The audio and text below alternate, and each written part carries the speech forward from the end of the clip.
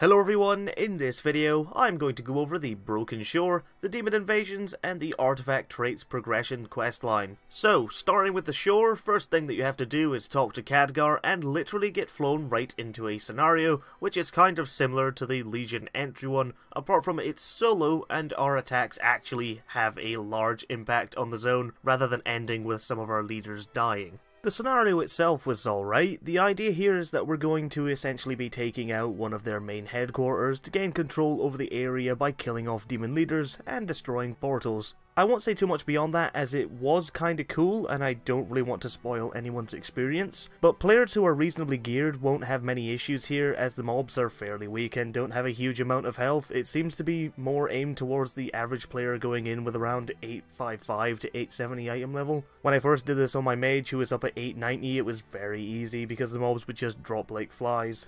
But enough about the scenario, how is the new zone? Well you start off in what seems to be a little camp with a few buildings being constructed around it. These will progressively be built up over time as you and other players on your realm go into the Broken Shore and take part in the content. As far as content in the zone goes though, there doesn't seem to be an awful lot to do immediately, but the quests you were given at the start kind of hint towards there being more, but since this is PTR, we don't really know unless Blizzard decides to open it up for us. However, as we build our hub on the Broken Shore, then more content will steadily become available. But with that being said, what is available? Well, currently the main content seems to be entirely revolved around completing world quests, which are scattered across the zone. These are pretty much the same idea as the current ones already available on the live servers, but some of them did feel quite unique, like this one for example where you control a water elemental to put out felfires. I like this one quite a bit, although it is kind of similar to playing as the different animals in Highmountain, but something about it did still feel refreshing. As for the rewards from these world quests, we will be getting the base amount of artifact power and of course gold, but we will also be getting Legionfall war supplies, which is the new currency that is collected by all players, which is essentially going to be used to further the construction of the buildings within the Broken Shores hub. Now looking at the Broken Shores Handen board, we can see that there are multiple buildings that you can assign your war supplies to. It's kind of going to be up to you to pick and choose which building you want to invest in, but currently there are three main buildings that you can construct. The Mage Tower, the Command Center, and the Nether Disruptor. These buildings have two traits each, one of them adds content that you can take part in. These include artifact challenges, which have been talked about a lot by Blizzard, as well as various buffs, portals, and bonus treasure chests.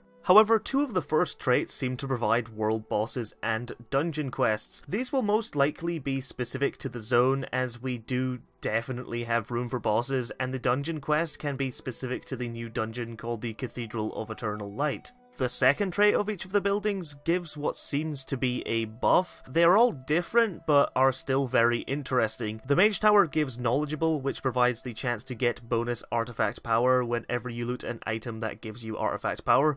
The Command Center gives War Effort, which provides a 30% chance to provide double war supplies whenever you receive them, and the Nether Disruptor provides Seal Your Fate, which honestly sounds really cool, as each day a Disruptor is active you can come back to the Broken Shore to do a quest, which will give you an extra bonus roll. It's definitely going to be useful for raiders, but just how often they will be available is kind of questionable, but either way it's going to be free bonus rolls. Also, whenever you hand in war supplies, you will be awarded with a reward box. Unfortunately, it doesn't seem to be implemented fully yet, but I can imagine it's probably similar to an emissary cache, as you do need to complete the same amount of world quests. It's probably there as a reward to push players to keep doing the content, as honestly, most people are probably worn out of world quests having been doing them for the last 5 months. Now, much like Tanaan Jungle in the Timeless Isle, this zone also has rare elites, which hopefully drops some pretty cool collectibles and probably war supplies as well. It also looks like this zone has tried to take something from both of the other zones, as it seems that Blizzard have taken the buff statues from the Timeless Isle over, and they have also taken the vendor over from Tanaan that allows players to buy gear using nether shards. Now if you look back to the pre-patch of Legion, you may remember that nether shards were a currency that were awarded by taking part in demon invasions. It's kind of cool that these could be making a return, but since this is PTR it could also just be a placeholder.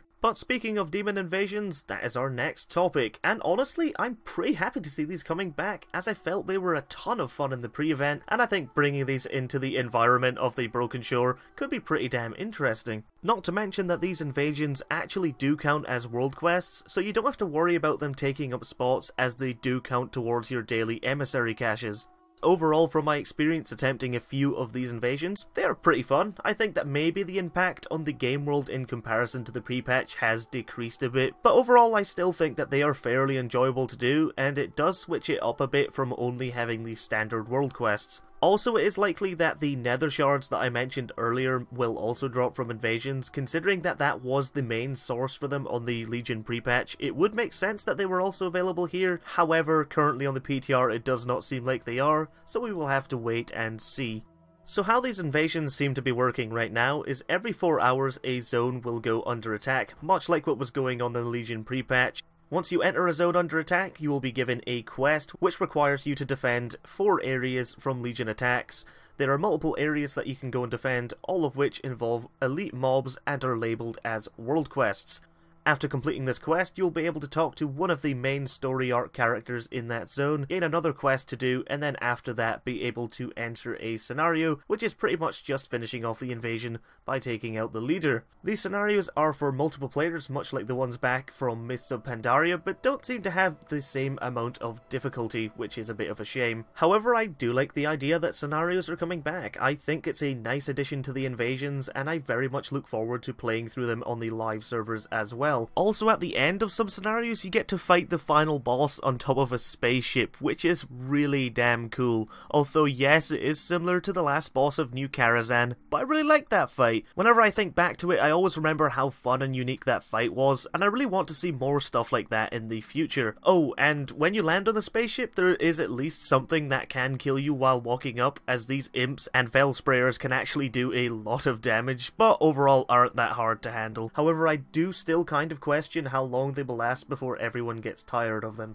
Moving on to artifact weapons, unlocking the ability to get the new traits is fairly straightforward. All you have to do is head back to the hub on the Broken Shore and Khadgar will have a quest called About Those Greater Threats. After picking up the quest, head down onto the shore and kill off demons until you get a quest item. This item required me to head to Dalaran and play through a short quest chain which eventually awarded me with the ability to spend artifact power on new traits. However, it also refunded me all of the artifact power I had spent on traits down to level 35, and the new traits seem to cost a hell of a lot. But we do still need to factor in that artifact knowledge will also be increased and level 26 is rumoured to be like double the increase of level 25 Also, this could still fall under a placeholder, but that kind of seems unlikely. But anyway, that's it for this video. What are you guys looking forward to most in patch 7.2? Make sure to let me know in the comments section down below, and also don't forget to like and subscribe, and I'll see you in the next video. Thank you very much for watching. Goodbye.